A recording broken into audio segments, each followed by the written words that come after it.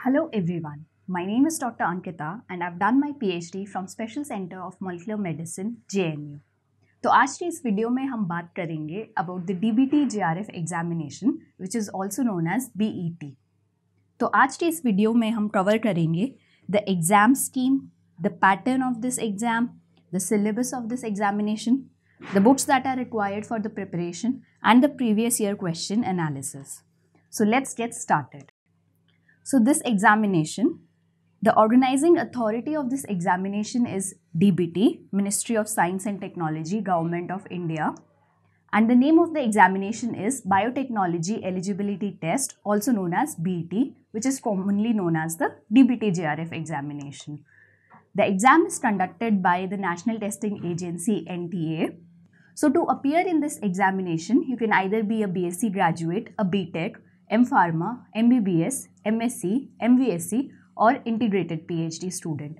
And the eligibility marks to appear in this examination have been set for general, EWS and OBC candidates as 60% and for SC, ST and PH it is 55% marks.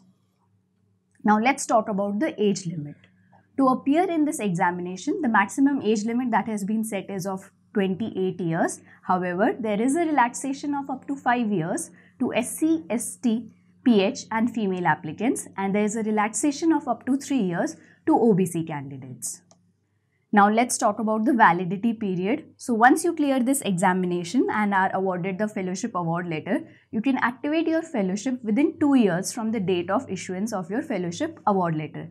यानी कि अगर आपको fellowship award letter का date आज का है if you qualify the examination then आप अपना fellowship within two years from today activate कर सकते हैं। You get this time limit to activate your fellowship the fellowship duration is of five years and the amount that you get so for the first two years you will be a J R F a junior research fellow and you will get a fellowship of rupees thirty one thousand per month plus H R A and once you qualify as S R F senior research fellow you will get rupees 35000 per month plus HRA from your third year onwards.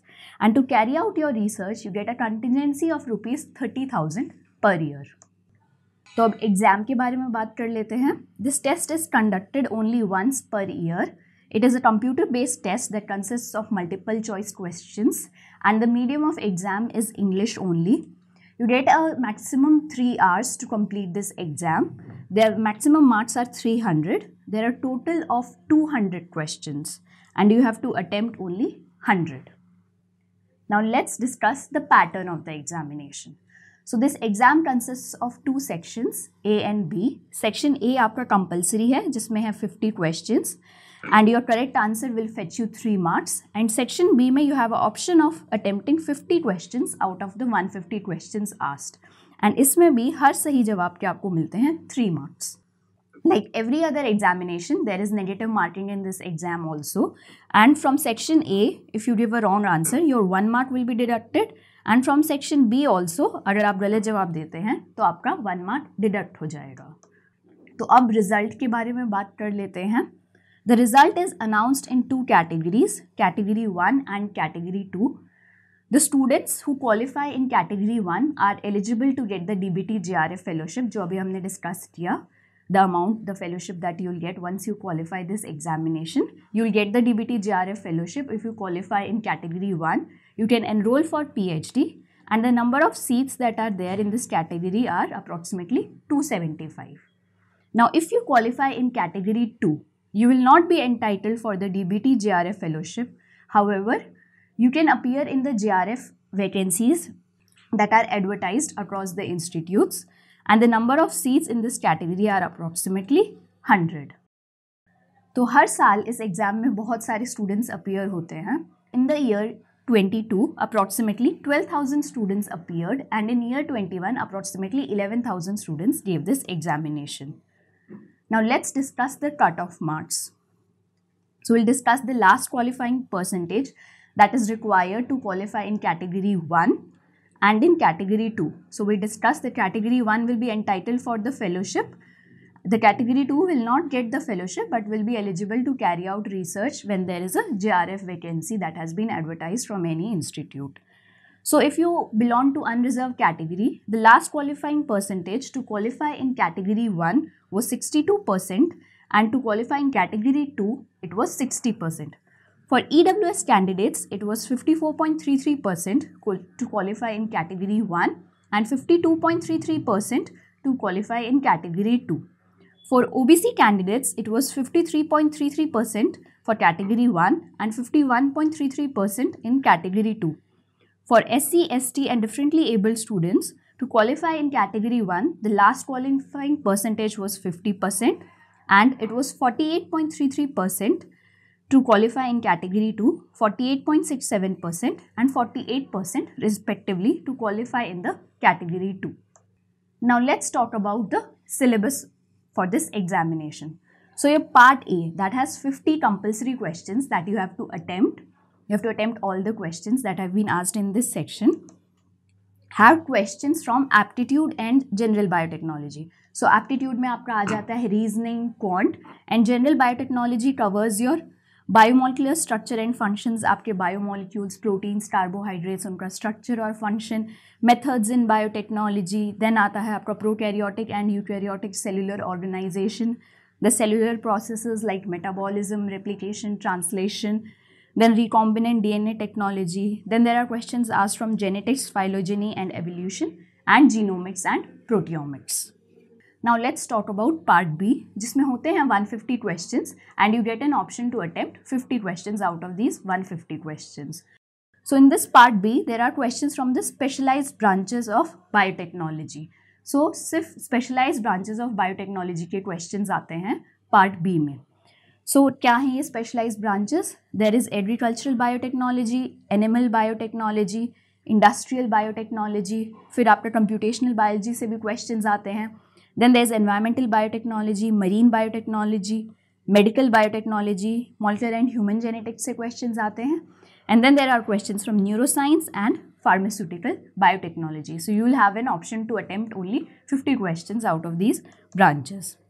Now let's see what type of questions were asked in the previous year examinations. So we've analyzed the question papers from last 3-4 years and what we could see was that in part A the maximum number of questions were asked mostly from general aptitude, biochemistry, RDT, which is your recombinant DNA technology, and biophysics, that has your techniques.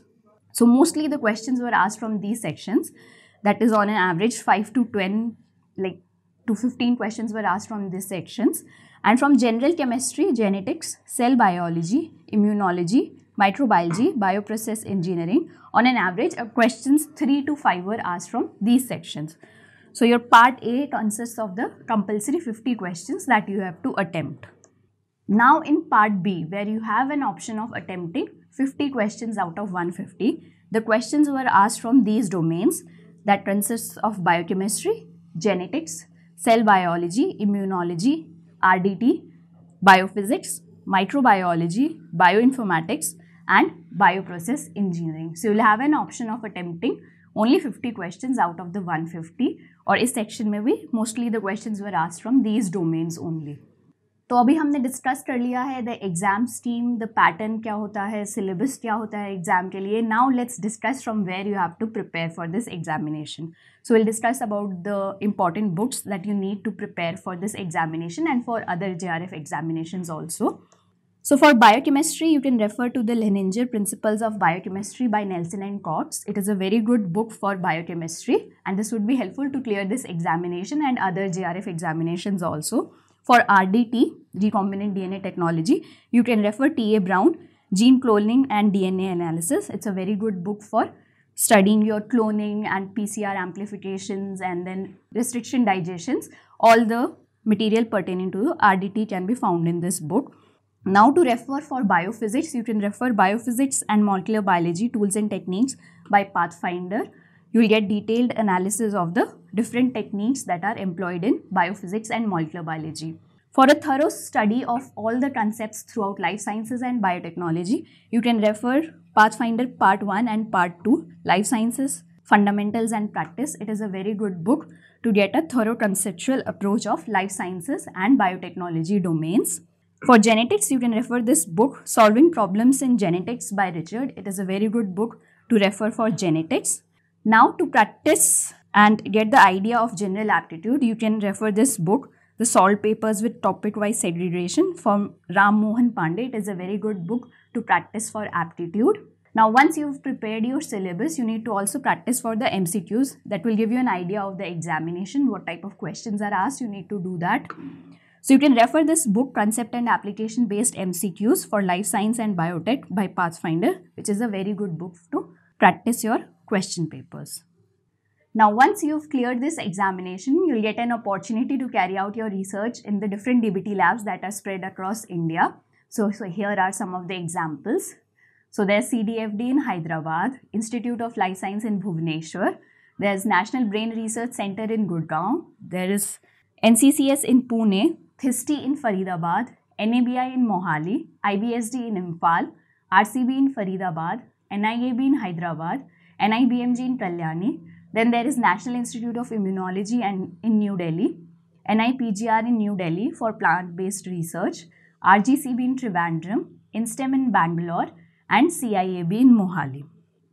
So the link for the slides would be available in the description and you can download previous year questions from the Pathfinder online website. I hope this video will be helpful to crack your DBT JRF examination. We've compiled all the information, all the required information about this examination in this one place for you guys. So good luck for the examination. Thank you.